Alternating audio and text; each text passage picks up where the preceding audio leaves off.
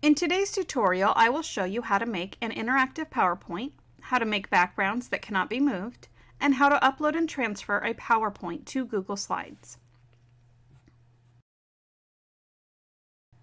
I will be making a word sort activity for students. When you first create your PowerPoint, you might need to change the size of your slides. If you'd like to change the size of your slides, go to Design, then Slide Size, then Custom Slide Size, and adjust your slide to the desired size you'd like. For this tutorial, I will be making the slide size 7 by 5. When you change the slide size, a message may pop up asking if you want, want to maximize or ensure fit. I'm going to choose ensure fit. If you will be using an image in your background, make sure that your slide size is the same size as the image you will be using.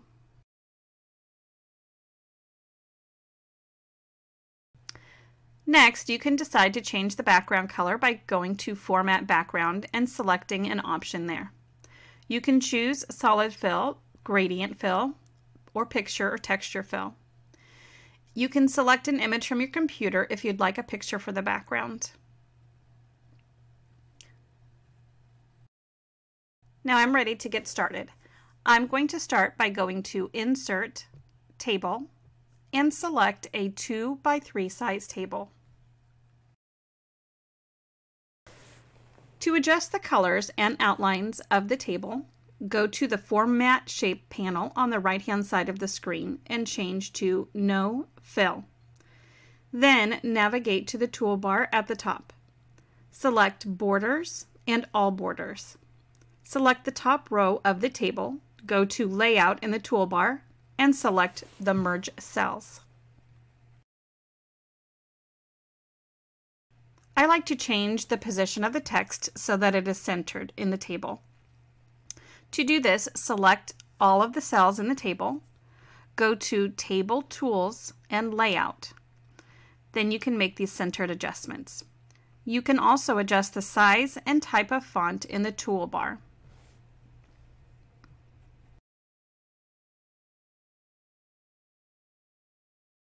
Next, enter the text that you would like to have in each cell of the table. When you are finished, you may need to adjust the lines to make the table look the way you want.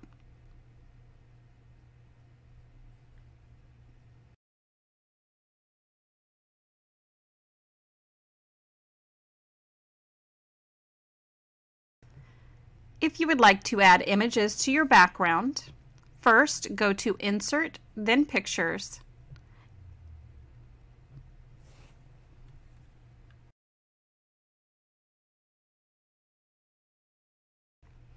To resize your images, hold down the Shift key and drag the images in from the corner.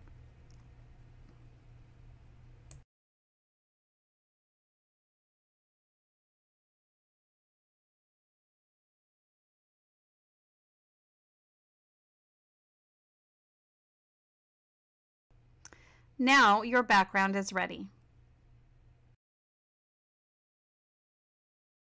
To save your background and make it flattened so that students cannot change it, first go to File, Export, Change File Type, and select PNG. Choose the destination to save the files and decide if you just want a PNG of this slide or all slides in your presentation.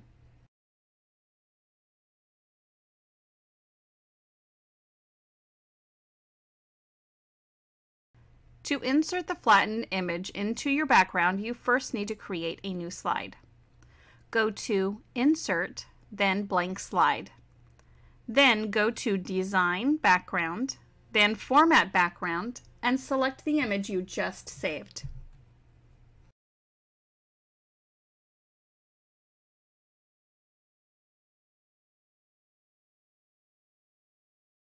Next, we will start on the movable pieces. There are a few different ways you can do this. One way is to add just text. Another would be to add just an image or an image with text. To create a movable piece with just text, go to Insert and select Text Box. Then change the font size and style. Center the text if you'd like. You could also adjust the background color of the text box or use an outline. To create more text boxes that are identical, just select the text box, hit Ctrl D and duplicate the text box. Then just change the word on the next tile.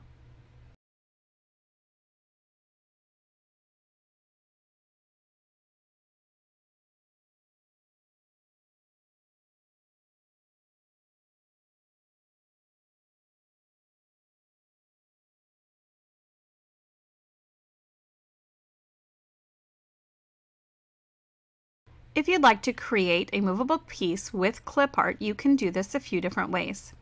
One way would be to insert a shape, adjust the fill and outside lines, then insert an image.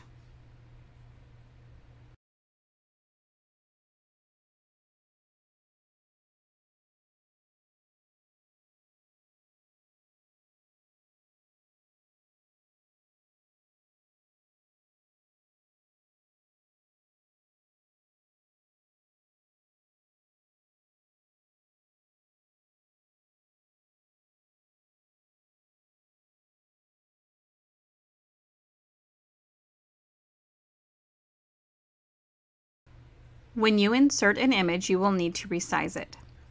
Hold down the Shift button, drag the image in by the corner, that will maintain the proportions. Then move the image over the shape. Hold down the Shift button and make sure to select the shape and the image.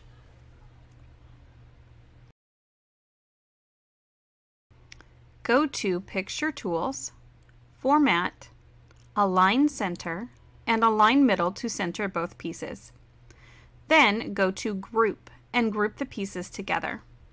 If you will be making more movable pieces, I would recommend duplicating the shape first.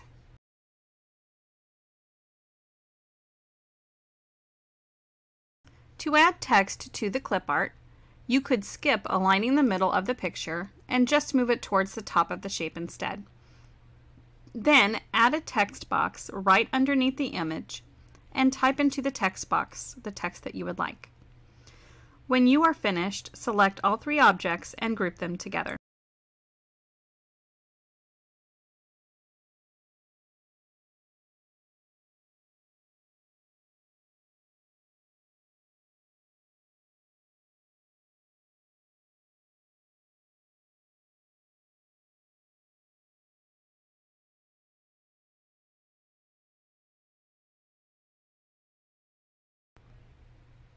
Just a tip. If you plan on sharing this file with students or others, it's a good idea to flatten each of the movable pieces so that your selected font will display appropriately on any computer screen. If you choose to not flatten the movable pieces with text, and the people with whom you share this file do not have the same font installed, then another font will be substituted by PowerPoint, and the text will look different than you wanted.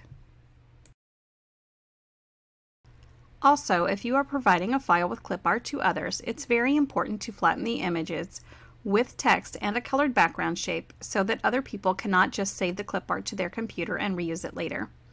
This will help protect the intellectual property of others. To save each movable piece, make sure all pieces in each object are grouped together. Then right-click, go to Save As Picture, and save each image to a folder. I recommend creating a new slide and reinserting each movable piece. I also recommend saving your original file, then deleting the unflattened movable pieces and saving the file under a new name. Then you will have a master file that you can edit later and a file that you can give to other people with flattened images. If you would like to have written directions, for your file. Those can be typed off to the side or inserted through audio. If you will be transferring this PowerPoint to Google Slides, just keep in mind that audio will not transfer from PowerPoint to Google Slides. You can, however, record the audio, save it to your computer, and upload it later to Google Slides. Now that you have finished making your interactive PowerPoint, it is ready to upload to Google Slides. Log into Google Slides and go to Open File Picker, then Upload, and select the file from your computer. This will automatically transfer the file to Google Slides.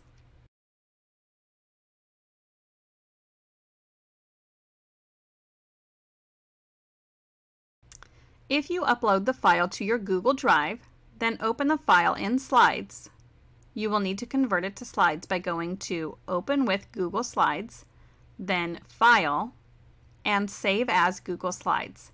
This is especially helpful if you already have a PowerPoint loaded to Google Drive. That's how you should transfer it over to Google Slides.